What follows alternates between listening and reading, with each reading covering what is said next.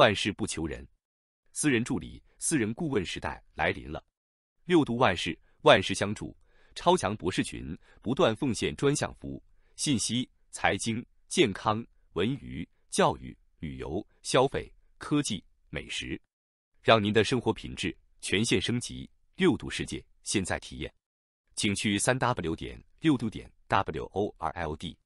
限时免费期间，全体注册网友免费使用付费版的高级功能如下：支持论坛搜索，免费画图。第一步，点击右上角最左边的机器人符号开始对话，像图片中红框中的那样。第二步，如图选择六度万事，我们未来将推出更多的 AI 供大家选择，然后就可以与六博士悄悄畅谈了。还支持论坛内部信息搜索哦。您还可以让六博士做你的助手，帮你绘制漂亮图片。最后可以点击添加，添加好友进来，一起与六博士工作。一起来三 w 点六度点 w o r l d 尝试吧。欢迎来到我们的华尔街电视简报节目。今天我们带来了几则热门新闻，让我们一起来看看吧。首先，我们来谈谈中国的经济增长计划。中国政府正在推动一项计划，旨在通过对制造业的投资来振兴经济，特别是对高科技和清洁能源的投资。这个由习近平主席提出的计划被称为“新的高质量的生产力”，但似乎在说服家庭增加消费支出的具体措施上细节不多。接下来，我们看看中国与台湾的最新争端。受台湾控制的金门小岛最近成为了两岸紧张局势的焦点。特别是在两名中国男子试图逃离台湾海岸警卫队船只时不幸身亡之后，中国海岸警卫队对此作出回应，派遣船只在该岛附近巡逻，进一步加剧了局势的紧张。最后，我们来谈谈人工智能的未来。一篇文章提出了关于人工智能未来的六个关键问题，从摩尔定律的终点到人工智能对就业的影响等等。虽然人工智能有巨大的发展潜力。但也存在限制和挑战需要考虑。文章认为，历史和人类的适应能力表明，劳动力市场将适应新技术，但人工智能的负面影响可能会地理和人口集中，可能导致就业岗位流失和负面社会后果。请大家继续收看详细内容，不要错过我们接下来的报道。中国刺激经济增长的计划，一个带有熟悉理念的新口号。中国政府正在推动一项计划。以振兴该国经济，并抵消长期存在的房地产泡沫的影响。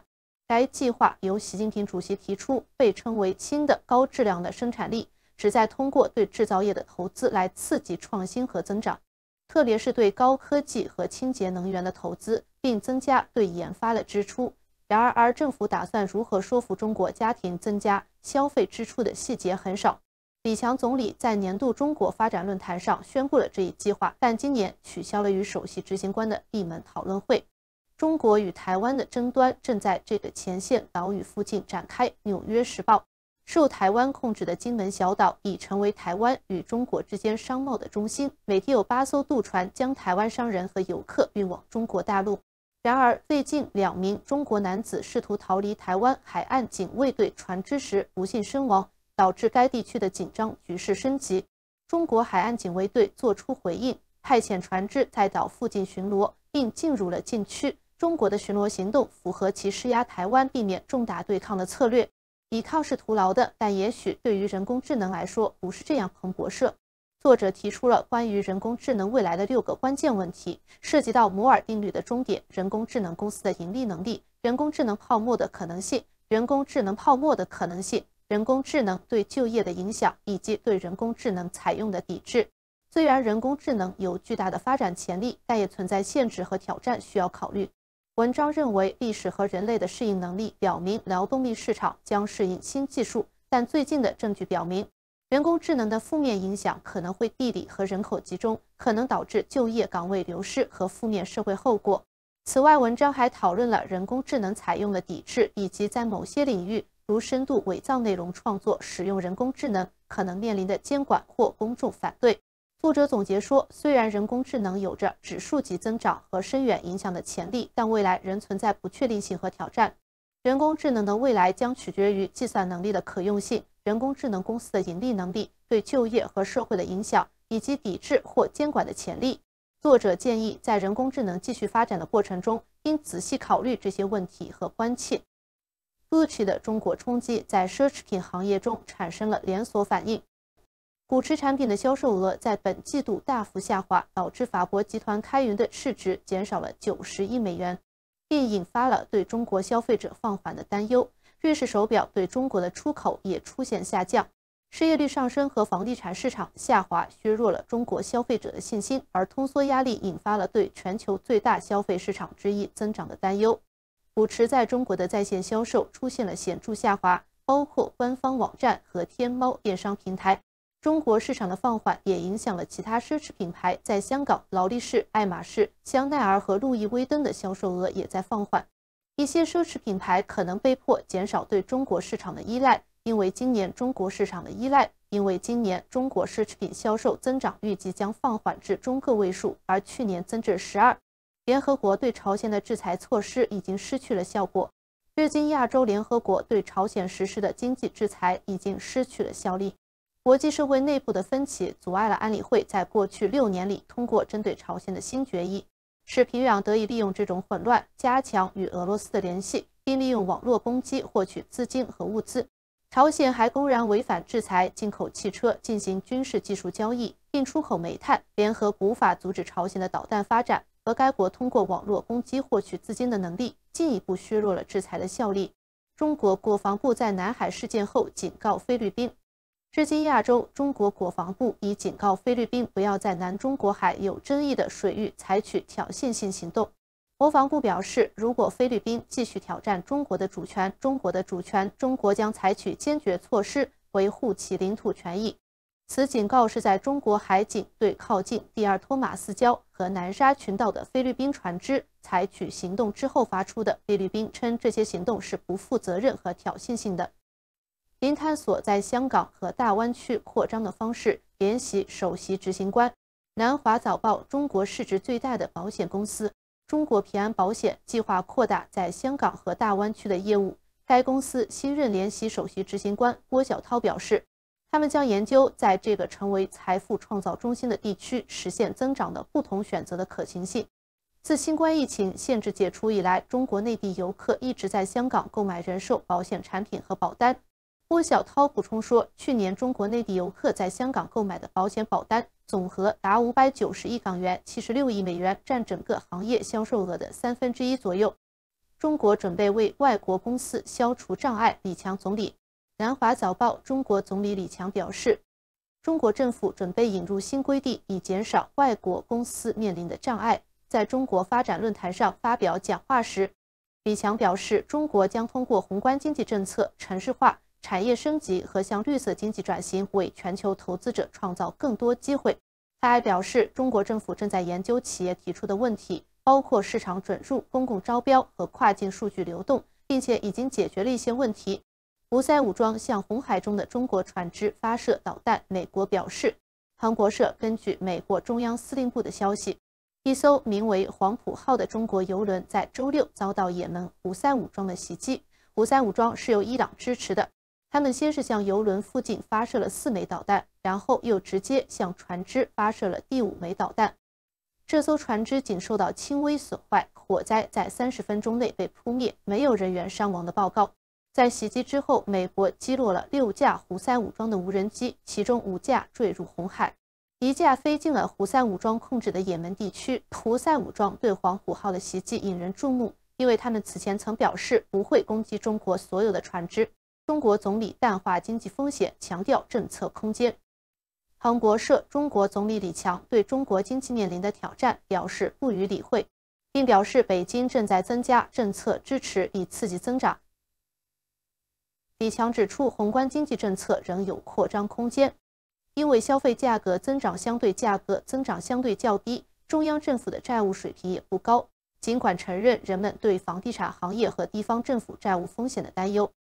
但李强表示，这些困难和问题并不像人们想象的那么严重。中国经济在2024年有了坚实的开局，出口、工业生产和投资增长超出了预期。然而，经济学家认为，为了实现今年约百分之五的经济增长目标，需要更多的政策支持。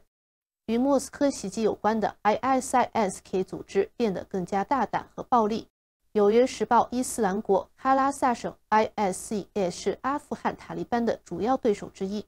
ISIS-K 在整个国家范围内进行了多次袭击，以打击塔利班，并试图破坏他们与地区盟友的关系。该组织还将袭击扩大到了阿富汗以外的国家，如巴基斯坦、伊朗和现在的俄罗斯。isisi 也袭击中国、印度和伊朗在阿富汗的大使馆，并发布反俄宣传。该组织的袭击旨在描绘塔利班无法提供安全并建立他们自己版本的伊斯兰统治。中国研究人员在海洋中发现治疗危及生命的肾脏损伤的希望。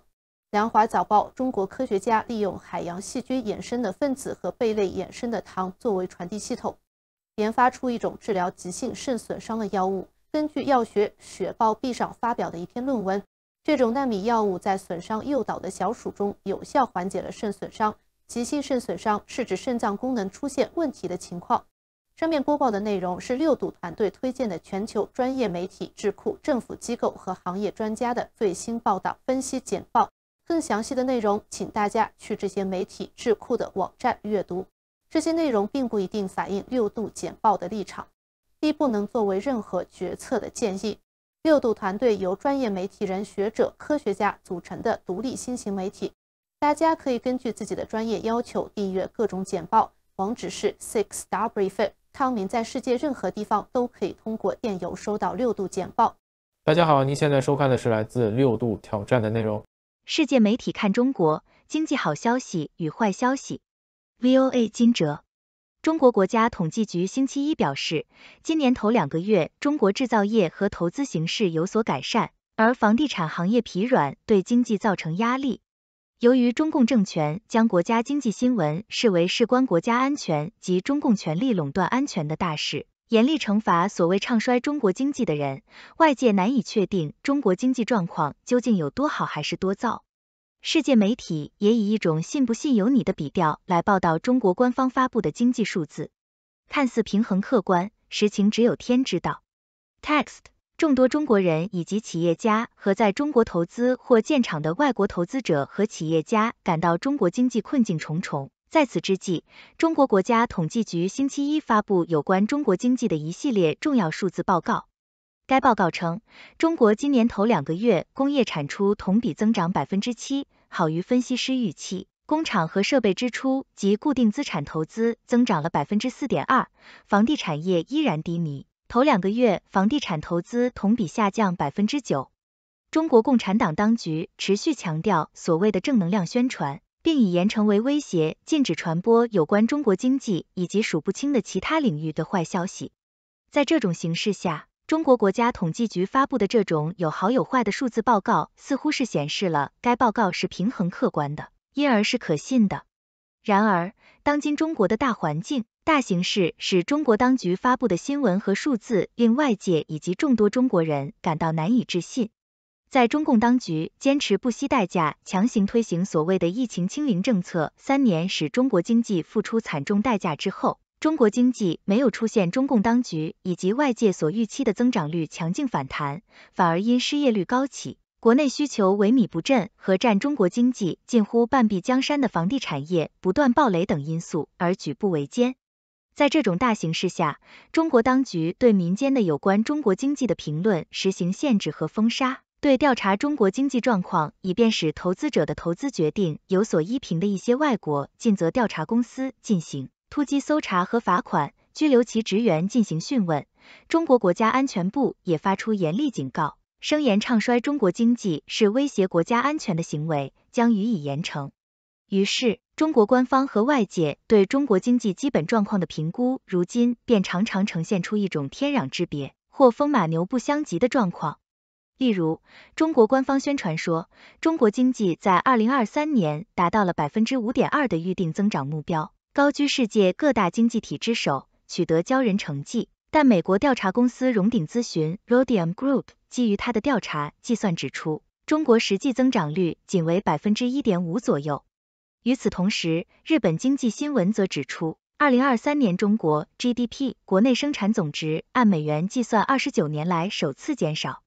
与此同时，在中国国家统计局发布今年头两个月中国房地产投资同比下降百分之九的数字之际，日本东洋经济杂志网络版发表报道说，中国房地产巨头今年一月至二月房屋销量减半，情况严重。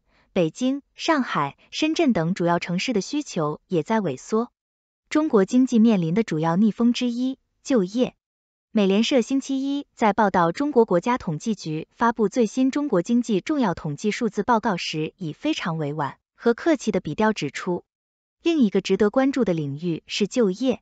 虽然官方最新数据显示城镇失业率为百分之五点二，但中国十六至二十四岁年轻人的失业率为百分之十四点六，这比去年十二月的百分之十四点九和六月的近百分之二十有所改善。但仍然凸显了中国年轻人在疫情之后仍是找工作难。当局对科技公司的打击损害了私营企业的投资。青年失业人数不包括学生。相对而言，法国主要报纸《世界报》在报道同一消息的时候则更为直言不讳。该报三月十八日发表的报道说，说到先前占中国经济活动百分之二十的房地产业，其危机已进入第三个年头。根据国际货币基金组织的数据，与新型冠状病毒疫情大流行之前相比，新建筑工地数量下降了百分之六十。二零二三年，中国大城市二手房价格同比下降百分之六点三。使情况更糟的是，二零二三年夏季青年失业率为百分之二十一。今年一月份，中国当局按照新的计算方法，将这一数字降至百分之十四点九。法国财经新闻报纸《论坛报》三月十八日以“中国开年艰难，经济形势仍不明朗”为题发表报道说，中国今年设定了百分之五的经济增长目标，这是该国几十年来最慢的增速之一。然而，北京认识到这一目标很难实现，因为中国仍面临结构性困难。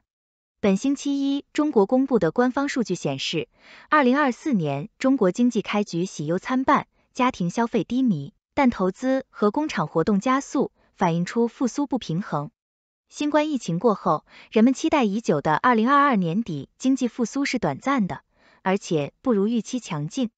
现在中国面临着一个不确定的局面，这抑制了家庭支出，而房地产业危机和青年高失业率正在影响购买力，以莫名其妙的新质生产力开拓新局面。自二零一二年上台以来，中共领袖习近平及其宣传班子不断提出新口号、新说法，其中既包括“厕所革命”这样的简短易记的说法，也包括至今让亿万中国人以及让数不清的中国问题专家感到犹如绕口令一样难以背诵和上口的说法，如“习近平新时代中国特色社会主义思想”。在中国经济面临中共当局也不得不承认的艰难境况之际。习近平凌空提出了所谓的发展新质生产力的口号。美国财经新闻社彭博社三月十八日以解读习近平旨在重振中国经济的新口号为题发表报道说，口号在中国很重要。从有中国特色的社会主义到共同富裕，新口号的采用预示着政策的深刻转变。因此，新质生产力在中国政府三月五日发布的年度工作重点中被列为首要任务。这一局面引发了一场争先恐后解读由国家主席习近平去年九月创造的这个词究竟有什么含义的争论。自二零一四年以来，产业政策口号占据政府提出的当务之急首位的场合只有一次。通常情况下，这个机会被用于宣示宏观经济政策的承诺。彭博社的报道陈述了中国官方媒体如何放飞想象力，援引卡尔。马克思在某年某个场合某篇文章中的言说，来注解习近平突然提出的令众人莫名其妙的心智生产力之说，并未之作背书。一些投资者则根据定于一尊、一锤定音的习近平最新的说法，研判猜测接下来投资中国应当投在那个领域或行业。报道接着说，当然，人们为猜测而投入的精力都可能被新发事件所取代，或者被另一个口号压倒和取代。二零一八年，医疗卫生、教育领域的互联网加模式多次被列为政府工作重点。然后到了二零二一年，习近平开始加大力提倡共同富裕，以解决中国的贫富差距问题。该口号预示着对科技和教育行业的打击的开始。互联网商业巨头阿里巴巴集团控股等主要公司的股价受到重创，以扩大出口寻求突破的风险。在中国经济增长乏力，给中共政府造成社会政治压力之际，中国当局显然力图通过扩大贸易出口来寻求突破困境。但这种在中国当局看来是理所当然的举措，在当今国际大形势下，尤其是在中国的出口市场主要是美国的形势下，也有相当的风险。美国工商新闻网刊《工商内线人》三月十六日发表报道，标题是“无论拜登还是川普赢得总统宝座，中国的经济计划都可能导致贸易战”。该报道的要点是，美国的经济调研公司凯投宏观表示。中国出口激增意味着发生贸易冲突，在任何一位总统候选人那里都可能。中国现在占全球制造业出口的百分之十五，而它必须将这些出口上传给美国消费者。中国正在寻求通过制造业实现更好的增长。看来我们真是处在艰难的时刻。除了这位名叫 VOA 金哲的记者叙述的对于中国经济困境的理解之外，我们显然处在这个世界对理解和评估这个情况的文化困境中。是啊，没错，他的语言充满了看似平衡客观、实情只有天知道的讽刺。明显提出疑问的是，当局对民间的有关中国经济的评论实行限制和封杀，是因为真的无法承受批评，还是担心这些批评可能引发更大的风波？相比于那些陷入质疑一切的怀疑论者，我更喜欢陈述事实，虽然有时候。事实可能比大 V 的讲话更让人难以接受。的确，我们的经济增长速度放缓了，这个现状我们是无法逃避的。然而，我们不能忽视的是，我们正在走向更深入的转型期，从过度依赖出口和房地产的经济结构，转变为更加关注内需和服务业的现代经济结构。这就好比正在爬山的人，虽然他的速度可能在减慢，但这并不意味着他正在后退，而只是他。正在攀爬的是一个更为陡峭的斜坡。当然，对于环顾四周只看到深渊的人来说，这一切都是结果的灾难。然而，只有站在山顶，才能眺望到更远的风景。我得承认，心智生产力的概念确实让人有些莫名其妙，可能连马克思本人都会对此感到惊讶。但是，我们需要懂得，针对每一次重大转折，我们总需要一些新的理念来开启新的篇章。无论这种理念是多么的令人费解，对于制造业和出口的依赖，的确，中共政府可能面临着重大的挑战，特别是在现在全球化背景下，各个国家都在寻求保护自己的制造业、打击对手出口的环境中。然而，这也许是我们应有的困难，因为这正是我们从过度依赖资源和低价劳动力，转型为依赖创新和品牌的过程中所必须经历的一部分。最后，我想要指出的是。虽然我们确实面临着巨大的挑战，但把这一切都归咎于中国政府或者中共，就好比说，因为那座山很陡峭，所以登山者不该去攀登。毕竟，没有哪个国家的发展是一帆风顺的，同样，没有哪一个民族的复兴是可以轻而易举实现的。可以肯定的是，只要我们不断向前，未来总是充满希望的。各位观众，大家好，我是来自六度世界的六博士。今天给大家带来的是关于中国经济的好消息与坏消息。中国国家统计局发布的数据显示，今年头两个月，中国制造业和投资有所改善，但房地产行业依然低迷。然而，对于中国经济状况到底如何，外界和中国官方之间存在着很大的分歧。中国当局严厉打击唱衰经济的声音，外界对官方发布的经济数据持怀疑态度。中国的经济形势确实面临很多困难，失业率高企、内需不振、房地产业暴雷等问题都给经济带来了压力。然而，我们不能忽视中国正在进行的经济转型，从过度依赖出口和房地产转向更加关注内需和服务业。虽然经济增长速度放缓，但这是一个必经的过程。我们需要站在更高的角度看待问题，才能看到更远的风景。对于习近平提出的新质生产力，虽然有些人觉得莫名其妙。但我们需要给予一定的理解和空间。每一次转折都需要新的理念来推动，即使我们不完全理解，也需要给予尝试和探索的机会。至于中国的出口扩大计划，确实面临一些风险，特别是在当前全球贸易环境不稳定的情况下。但这也是我们转型过程中必须面对的挑战，我们需要依靠创新和品牌来提高竞争力。现在就让我们来看看观众们有什么样的想法和问题吧。谢谢大家收看六度世界，这是一个由科学家、经济学家、媒体人、工程技术人员合作建立的新型媒体，网友与六度 AA 参与合作完成各种内容，这些内容不能作为任何决策或法律的意见。这是一个新型的试验性媒体方式，我们希望得到大家的支持，修正错误。网友可以参与讨论，也可以向万能的六博士提出你能想出的任何问题。六度世界网址是六度 world，请介绍给你的亲朋好友。观众朋友们，大家好，欢迎回到华尔街电视。您现在收看的是《沙伦一报》节目，我是节目主持人沙伦。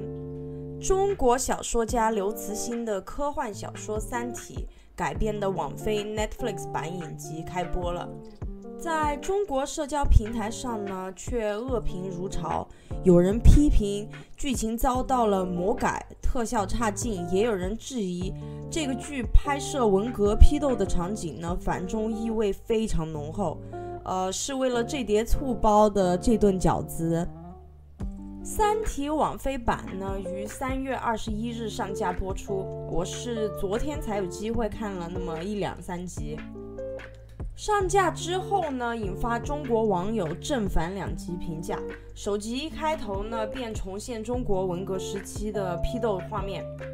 主角叶文洁的父亲，他是物理学家，因为坚持爱因斯坦相对论等理论呢。遭到红卫兵殴打呢，打着打着就把他打死了。在豆瓣上，许多人呢将此剧评为异星。微博上有网友表示，网飞版的剧情遭到魔改，拍这个就是想黑中国。为啥原著是中国为中心，网飞版的就变成全程西方中心？还有人说呢，网飞的《三体》呢就是为了提到文革。就像刚才说的，为了这碟醋包的这顿饺子，我个人认为呢，这个不可能就是为了提到文革。但是我个人也不喜欢这种就是换来换去的，你知道吗？比如说，如果原著是在一个地方，我觉得如果你要再做另一个版本的话呢，就应该保持一样的。因为我认为，就是西方世界太那个，他们太注重就是。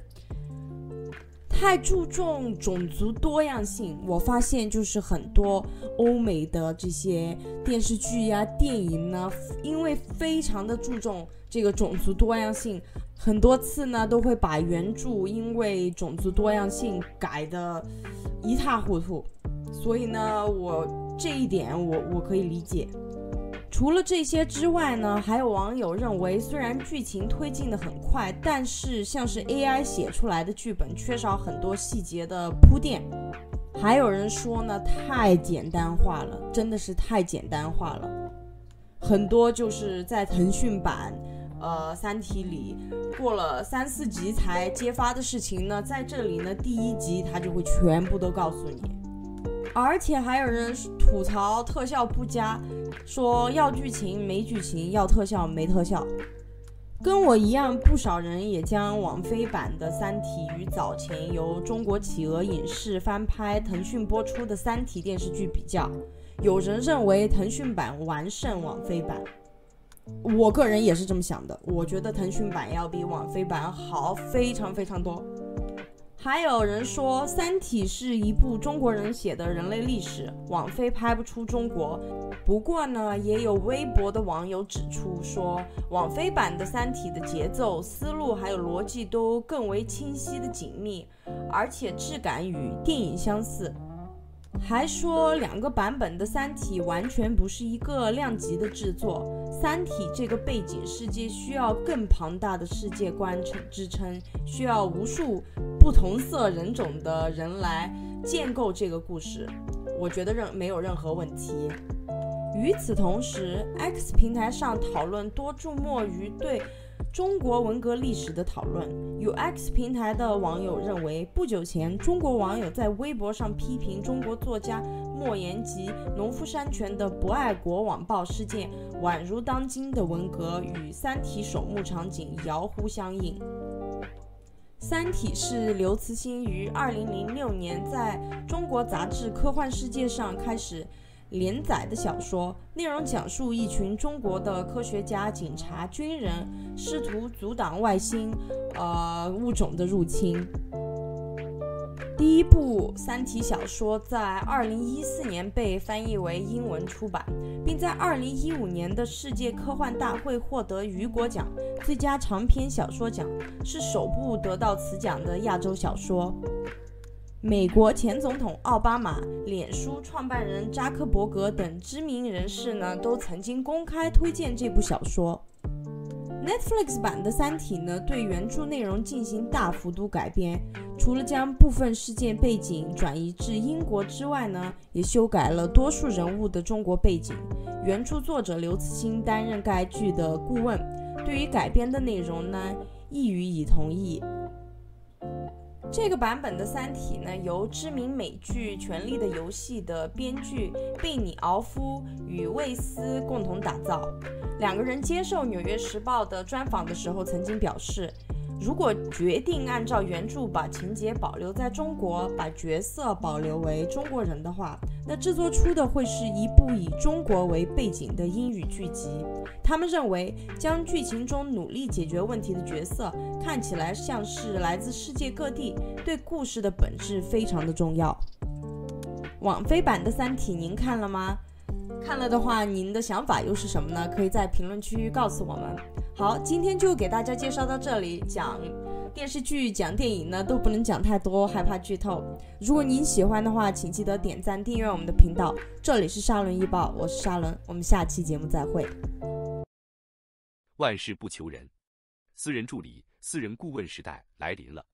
六度万事，万事相助，超强博士群不断奉献专项服务，信息、财经、健康、文娱、教育、旅游、消费。科技美食，让您的生活品质全线升级。六度世界现在体验，请去三 w 点六度点 w o r l d。限时免费期间，全体注册网友免费使用付费版的高级功能如下：支持论坛搜索，免费画图。第一步，点击右上角最左边的机器人符号开始对话，像图片中红框中的那样。第二步，如图选择六度万事，我们未来将推出更多的 AI 供大家选择，然后就可以与六博士悄悄畅谈了。还支持论坛内部信息搜索哦。您还可以让六博士做你的助手，帮你绘制漂亮图片。最后可以点击添加，添加好友进来，一起与六博士工作。一起来三 w 点六度点 w o r l d 尝试吧。大家好，您现在收看的是来自六度世界的内容。赵鼎新致浙大领导的辞职信。据浙江大学社会学系三月十一日的新闻，社会学系召开干部宣布会，宣布主任调整，副校长周江红兼任，赵鼎新卸任。一封署名为赵鼎新教授的辞职信在网上流传。原始出处见历史微信公众号。在信中，赵鼎新教授表示，考虑到目前否定他主持浙大社会学系工作期间的工作，他将辞去所有和社会学系相关的职务。赵鼎新系知名社会学学者，担任浙大社会学系主任近三年。他致力于政治社会学、社会运动、历史社会学等领域研究的赵鼎新，一九五三年出生于上海。于一九八二年毕业于复旦大学生物学系，一九八四年毕业于中国科学院上海昆虫研究所，获昆虫生态学硕士学位，后赴加拿大留学。一九九零年获麦吉尔大学昆虫生态学博士学位。此后，他改学社会学。一九九五年获麦吉尔大学社会学博士学位。一九九六年起，赵鼎新任教于美国芝加哥大学社会学系。二零一二年，赵鼎新担任浙江大学访问教授，并于二零二零二一年起担任社会学系教授、系主任。尊敬的任书记和杜校长，你们好！写此信的目的只有一个，那就是辞去我所有和社会学系有关的职务，包括社会学学术委员会委员、社会学学会学学会学学科学学位评定委员会主任、浙江大学人口与发展研究所所长。浙江大学筑牢中华民族公体意识研究基地首席专家等等。辞去这支学位的原因很简单：三月十一日，我的社会学系系主任职位正式被免去。三月十九日，社会学系召开了党政联席会议，事先我并不知道有这次会议，也没被要求列席参加。会议期间，据说发生了不少冲突，因为我不在场，所以不想复述。与我有关的事情如下。会议上，陈素山宣布成立了一个社会学系学科建设工作小组，其中没有我和朱天彪，只是当时有人坚持，才把我的名字给加上了。会后，社会学系的教室，包括外籍教师在内，和学生沸沸扬扬，大家人心惶惶，不断有人打电话询问我。这几天正好在上海为高研院和社会学系展开募款活动，所有这些事事先都没有征求过我的意见，并且都发生在我十九日离开杭州的这几天。我其实要比打电话来询问的那些人还蒙在鼓里，但是大致听下来，似乎就是陈素山准备要在社会系搞站位更高的改革。简单讲，就是否定我主持浙大社会学系工作期间的工作，这就把我这个刚刚退下来才不到十天，并且仍然担任着社会学系大量工作的老人搞得非常被动。眼见教师们的各种焦虑，我心里难受，但我却已经被排除出决策圈，无能为力。想来想去，我只能决定辞去所有职务，为陈素山新政腾出道路。祝好赵鼎新。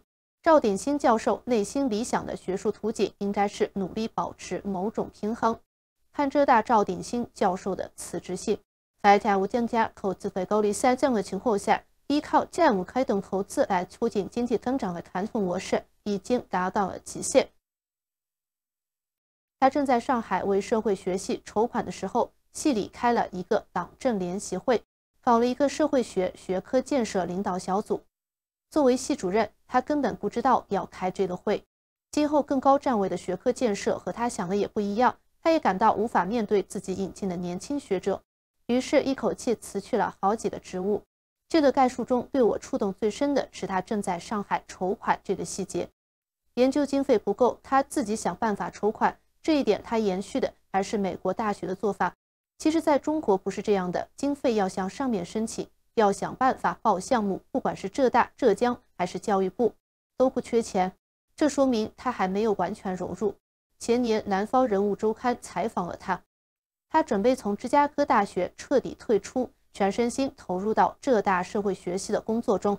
那时肯定已经有变化的潜流或者征兆，而他全然不觉，可见一个学者不管理论多么扎实，逻辑多么有力。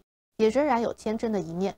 该报道还提到他给浙大社会学系带来的一些变化：讲座明显增多，学术氛围活跃，年轻人的研究主题都很有趣，有一些学术理想主义的色彩。他不想让学术那么僵化，而是尽可能保持开放和活力。现在看来，这些站位还可能不够高，多少有一些知识分子的幼稚。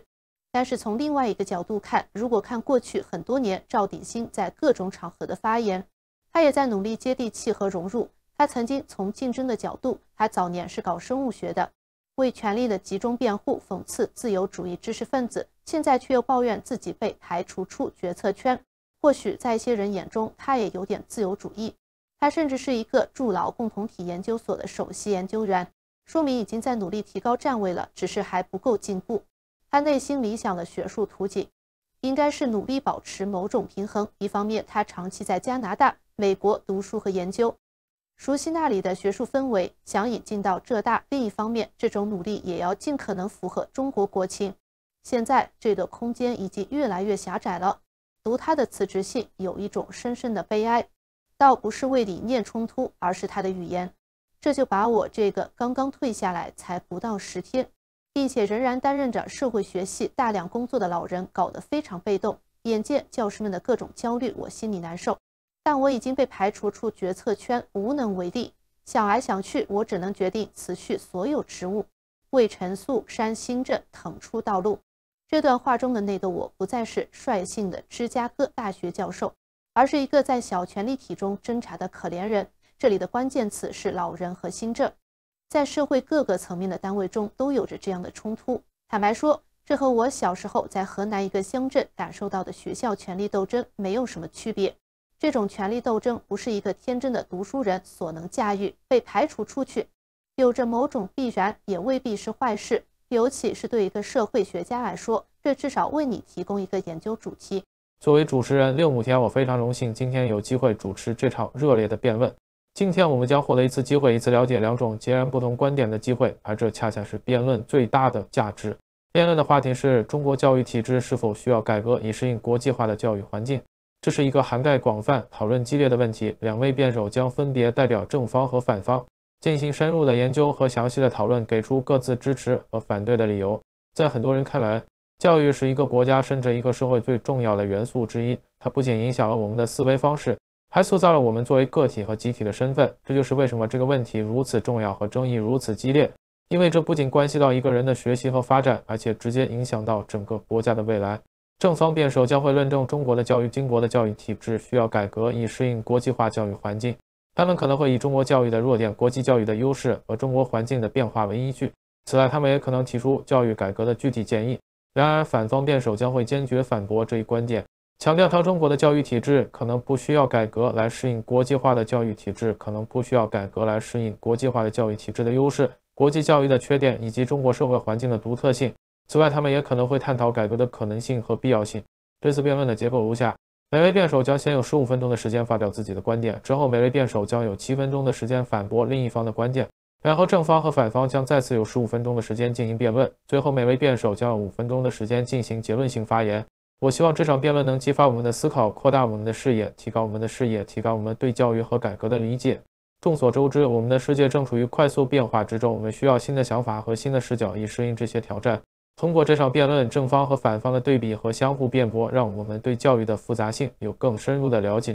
无论我们最后的立场是什么，我们都应该尊重彼此的看法，因为只有通过对话和讨论，我们才能找到找到真理。现在，让我们开始这场令人期待的辩论吧。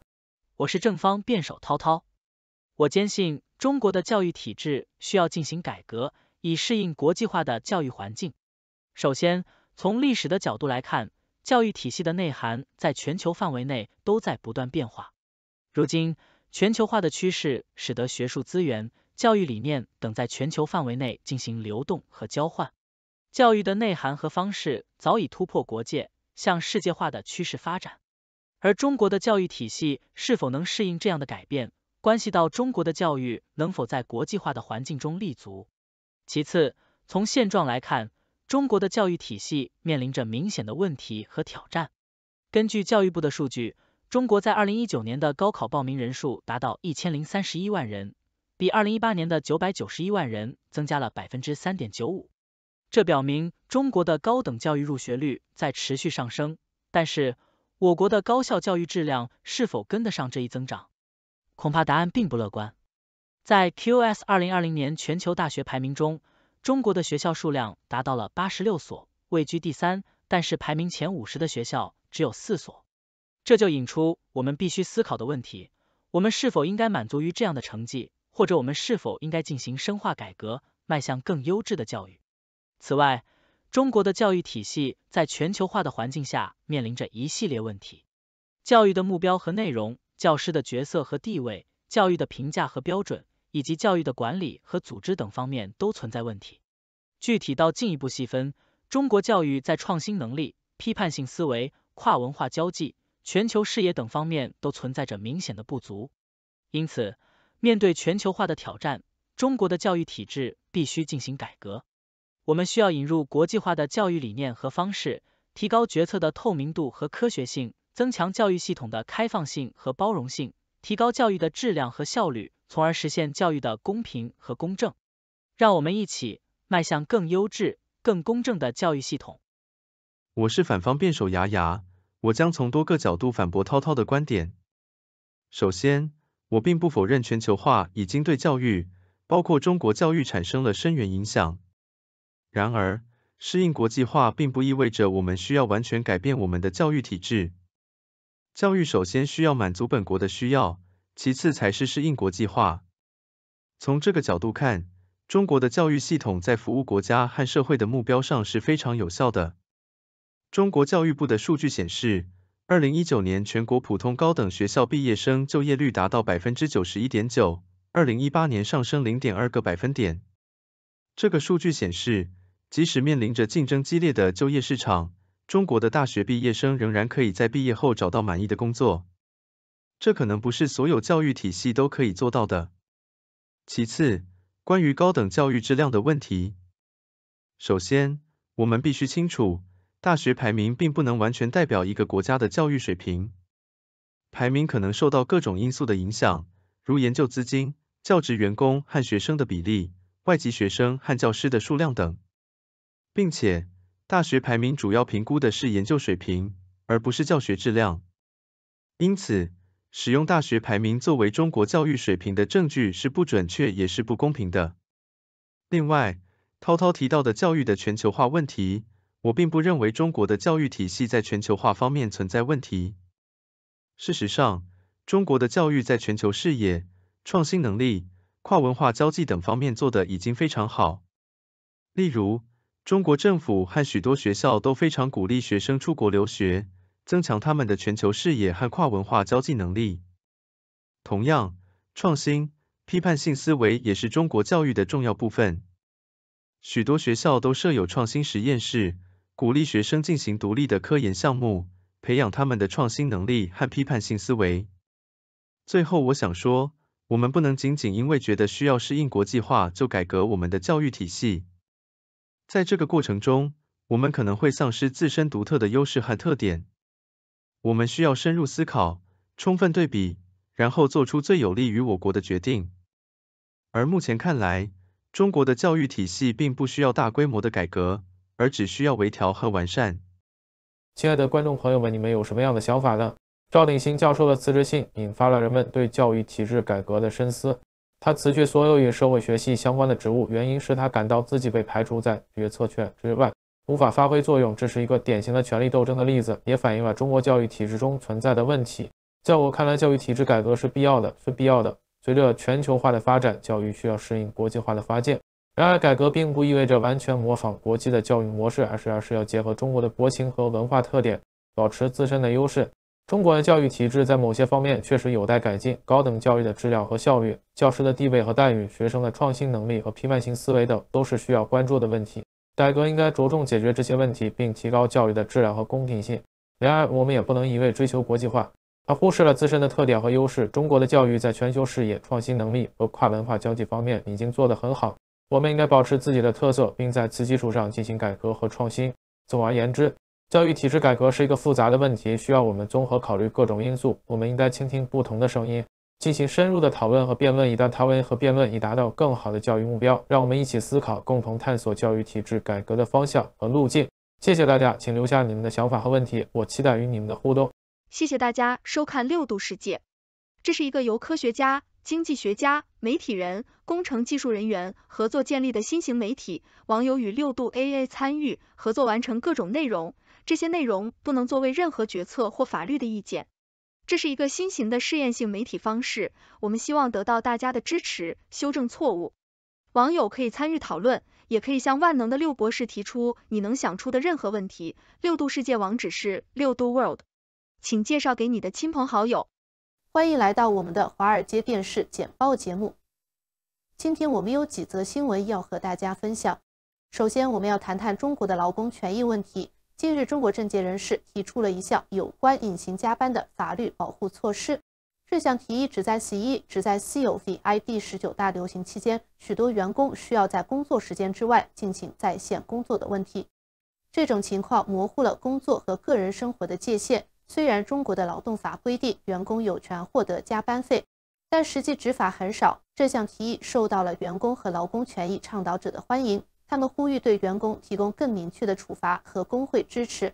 接下来，我们要谈谈近日发生在俄罗斯的恐怖袭击事件。据报道，在克洛库斯市政厅发生的这起袭击事件后，一些中国留学生表示，他们在微信聊天群中听说出门要备注国旗，甚至有人开始贩卖国旗和防弹衣。这些留学生担心自己的安全。这起袭击事件也引起了大家对恐怖主义的担忧。最后，我们要谈谈一个关于中国的时尚热潮。近年来，马面裙成为了流行的时尚单品。根据报道，曹县生产的马面裙在过去几个月里销售额已经超过了三亿元。这种长裙可以通过搭配不同的衬衫和 T 恤来穿着，非常受欢迎。这个时尚热潮带动了曹县的汉服产业。也给当地的布料厂家带来了商机。这就是我们今天的新闻概述，请大家继续收看详细内容。彭丽院长沙调研工作。昨天三月二十四日是第二十九个世界防治结核病日。近日，世界生组织结核病艾滋病防治亲善大使彭丽苑在湖南长沙雨花区洞井街道调研基层结核病防治工作，大爱看望慰问基层医务工作者与进行健康咨询的结核病康复患者、等候接种疫苗的儿童和家长亲切交流。国家疾控局局长王鹤胜、湖南省常务副省长张迎春参加调研活动。彭丽媛是国家主席习近平夫人，作为第一夫人，她投身各种公益和慈善活动。中国正考虑让老板为隐形加班付工资。澳洲 ABCC，中国政界人士提议为在 COVID 十九大流行期间不得不在办公时间之外在线工作的员工提供法律保护。该提议旨在解决隐形加班问题，即员工被期望始终在线并随时可用于工作。模糊了工作和个人生活的界限。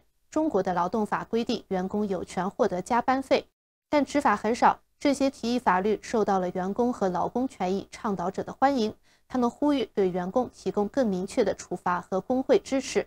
孔令奇之后，莫斯科中国留学生出门要背国旗。俄罗斯克洛库斯市政厅 k r o k s i l y h a n 右翼番红花市政厅三月二十二日发生恐怖袭击，造成严重伤亡。有中国留学生表示，在中国留学生的微信聊天群内传出出门要备注国旗的说法，更有人开始炒卖国旗和防弹衣。二十六岁的中国留学生李远平二年前到莫斯科留学，他表示，在恐怖袭击发生后，他接了电话，远在国内的家人看到了新闻，开始担心孩子的安危。在电话里，母亲说：“实在不行，回来也没事的，书读不读没什么关系。”李远平形容，在留学生的圈子里，恐惧的情绪正在蔓延。大家担心起各自的安危。微信群里有人说明天是不是要停课了？有人说接下来先不出门了，不敢拿自己的命来赌。还有人说地铁内的警察已经全副武装，换上三件套、手枪、头盔、防弹衣。李远平更指中国留学生的聊天群里更有人做起了生意。他记不清是谁带了一巨头，出门要备注国旗。十分钟后，就有人在群里丢出了购买链接，卖五幺九卢布，折算下来大概四十多元人民币，在之前价格几百人民币。在之前二十五到三十元人民币左右。更让他意外的是，还有人卖起了防弹衣。李远平又指，恐怖袭击发生后，街上空空荡荡的。原本他乘坐地铁的车站会在周末和上下班高峰挤满了人，但在二十三日他数了下，不超十个人。马面裙热销，曹县人赚翻。星岛头条：近年内地出现唐装热、汉服热、新中式服饰热，马面裙从中跃居顶流，甚至走进今年两会会场。此前，四百名大学生回曹县小镇卖马面裙登上热搜。作为中国主要的汉服生产基地，山东菏泽市的曹县，随着马面裙的爆火，迎来了一场泼天的富贵。马面裙堪称今年开春第一裙。据报道，从年前开始，截至今年二月，曹县生产的以马面裙为主的龙年拜年服，面向全国销售额已经超过了三亿元。有曹县汉服马面裙商家称，过年期间线下销售额翻了几十倍，线上单个直播账号也能有日均二十万元人民币下同的销售额。春节过后，马面裙热度不减，成为不少人日常逛街通勤的时尚单品，日均二十万元销售额。精于汉服打扮的李小姐表示，汉服圈子里流行过战国袍、唐制被子等成套汉服，但宽袍大袖。很难在生活中穿着，也有非常严格的制式要求。可是马面裙不一样，这种长裙看起来很像日常衣服，配 T 恤、配衬衫都可以穿，这让他有了从汉服圈出圈的潜力。以制造演出服起家的曹县，在十多年产业发展中形成了系统精细的市场分工，成本低、效率高。曹县电子商务服务中心主任张龙飞曾介绍。二零二三年，曹县汉服产业带动就业人数达十多万人，销售额达七十亿元。曹县共有汉服企业二二八二间，原创汉服加工企业二零五三间。据了解，约百分之四十的曹县商户过年没有放假，销量比平时翻了两番。曹县马面裙热卖，离不开直播引来网络流量。在当地最大的汉服基地直播间里，从早上七点开始。两个主播要接力播满八小时，直播间外一直源源不断有本地女孩来应聘。马面裙的走红也令这个产业链的上游布料厂家起死回生。制造马面裙的主要布料来源于浙江海宁和嵊州的很多窗帘厂、领带厂。有老板表示，前几年生意惨淡，很多服装品牌销售业绩不好，品牌不愿意大规模下布料订单，很多领带厂都垮掉。近年中美贸易战这种下滑更是到了一个极限。不过，从去年七月接手马面裙布料订单开始，工厂就在全负荷、二十四小时运转，根本交不出来，还一趟他一趟溜。有老板说，有老板说，除了过年休息了几天，整个工厂这几个月都没停过。马面裙热带动汉服热，春节后的曹县依然浸泡在热度的余波里。很多人相信这波热潮至少会持续到明年。特朗普在曼哈顿法庭面临财务真相的时刻。彭博社：如果唐纳德·特朗普在周一之前不提供担保金以支付四五十四亿美元的民事欺诈判决，他可能面临进一步的资金危机。特朗普警告称，他没有足够的现金来支付担保金。因为他正在对判决提出上诉，众多法庭纠纷的压力已经给他的财务状况带来了压力，法律费用不断增加，他重返白宫也产生了一些开支。纽约州总检察长莱蒂莎·詹姆斯威胁称，如果特朗普不支付款项，他将会查封他的资产。随着市场的飙升，投资者是否应该将目光投向美国以外的地方？经济学人随着全球基金经理对人工智能了而股票泡沫和领先股票的高估值越来越担忧，投资者开始质疑是否还有任何具有良好价值的股票。近年来，相对于其基础资产或收益而言，价格较低的价值股票表现不佳，导致许多人宣布价值投资已死。然而，Young Partners 的 Victor Haghani 建议投资者将目光投向美国以外的地区。因为这些地区的估值较低，Haghani 计算出，尽管美国股票的市盈率远高于其他地区，但约百分之四十的基础收益来自海外。相比之下，全球其他地区的总收益中有百分之二十来自美国。这种差异表明，市场可能通过提高对非美国公司的估值和降低对美国公司的估值来最终进行调整。Agen 认为，压住这种重新定价可以将风险分散到全球大部分地区。人工智能模型可以标记出太阳能电池板的最佳位置。南华早报：中国科学家已经开发出一种人工智能工具，能够找到安装双面太阳能电池板的最佳位置，从而最大化太阳能输出。清华大学和国家青藏高原数据中心的研究人员利用了中国二千五百个气象站的阳光数据，建立了一个基于人工智能模型，可以预测任何给定地点的直接和间接太阳辐射量。这个工具可以帮助中国克服缺乏全面辐射数据的问题，使政府和太阳能行业能够更有效地规划安装太阳能电池板的位置。英国首席执行官在北京论坛上赞扬中国供应商，同时 iPhone 销量下滑。南华早报：苹果首席执行官蒂姆·库克在中国政府举办的一次高级别峰会上赞扬了中国供应商对公司实现碳中和目标的贡献。库克出席中国发展论坛，反映了苹果努力多元化供应链，并应对中美紧张关系升级导致中国销售下滑的努力。库克还会见了中国商务部长，讨论了苹果在中国的运营，并表示公司致力于在中国的长期发展。苹果计划扩大上海的研究中心，并于今年晚些时候在深圳开设一个新实验室。《捉鬼敢死队》《冰冻帝国》以四五百二十万美元的票房夺得冠军，无暇由悉尼·斯威尼主演的电影排名第四。美联社索尼影业自二零二一年夏季以来首次获得冠军电影，由《捉鬼敢死队》《冰冻帝国》在开放周末票房收入达到四千五百二十万美元。该电影在评论界并不受好评，但观众反应较为积极。该电影制作成本为一亿美元。希望在春假期间能够持续获得良好的票房。顺便播报的内容是六度团队推荐的全球专业媒体智库、政府机构和行业专家的最新报道分析简报。更详细的内容，请大家去这些媒体智库的网站阅读。这些内容并不一定反映六度简报的立场，亦不能作为任何决策的建议。六度团队由专业媒体人、学者、科学家组成的独立新型媒体。大家可以根据自己的专业要求订阅各种简报，网址是 Six W Fan，康明在世界任何地方都可以通过电邮收到六度简报。六度旅行管家，你的旅行全策划。注册或登录六度世界，点击右上角机器人按钮，然后选择六度旅行管家，就可以开始与 AI 对话了。你好，很高兴能为你服务。你打算去哪里旅行呢？嗯，我想去希腊。太棒了，希腊是一个美丽的国家。你对希腊的哪些方面感兴趣呢？比如历史遗迹、美食、海滩或者其他的？嗯，海滩和美食。好的，了解了。你有没有任何饮食禁忌或者特殊的饮食要求，比如素食、无麸质食品等？嗯，不吃牛肉。好的，我会注意在推荐餐厅时避免牛肉。你计划的旅行时间是多久呢？嗯，四天。了解了。你是打算独自旅行，还是和他人一起？这会影响到旅行的安排。嗯，与父母一起。好的，我会考虑到这一点。你的预算大概是多少呢？这会影响到住宿和餐饮的选择。一千欧一天。好的，这是一个相当宽裕的预算。你对住宿有什么特别的要求吗？